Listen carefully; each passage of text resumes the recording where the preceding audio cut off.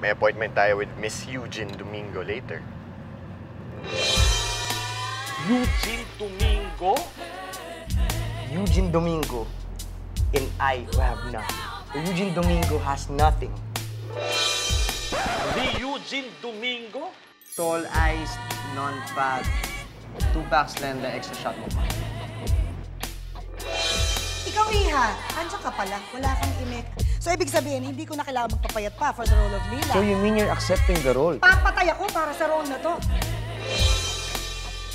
Eugene Domingo in the house!